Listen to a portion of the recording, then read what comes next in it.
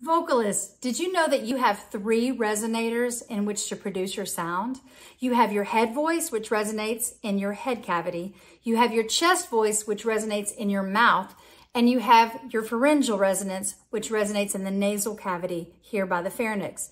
You need all three resonators to be strong in order to add dynamics and texture and color to your singing. Now I want you to imagine a dial and over here is the head voice, and over on this side is the chest voice, and in the center is the pharyngeal.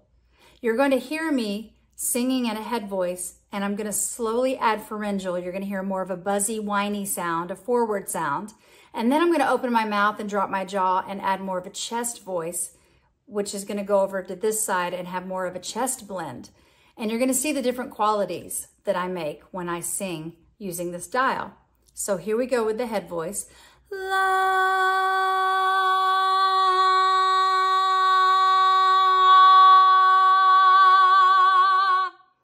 of that belt because I dropped my jaw and added more of a chest voice, which resonates in the mouth.